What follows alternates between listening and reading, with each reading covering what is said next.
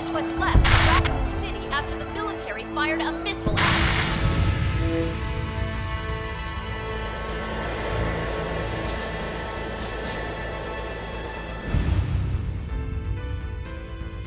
Attention, all persons inside the terminal. Evacuate the building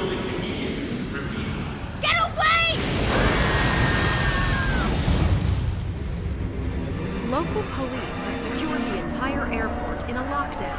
A bioterror event has occurred in one of the airport terminals. I don't understand why you won't let me leave. The terrorists made any demands? Who the hell are you? Leon S. Kennedy.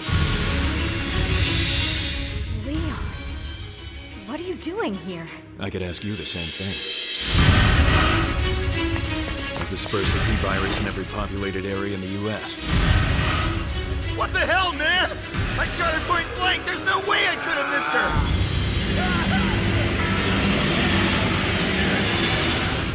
her. Shoot them in the head.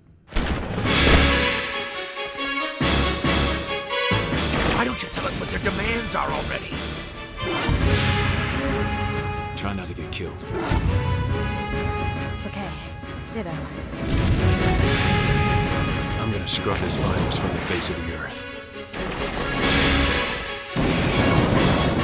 Nothing can stop it now.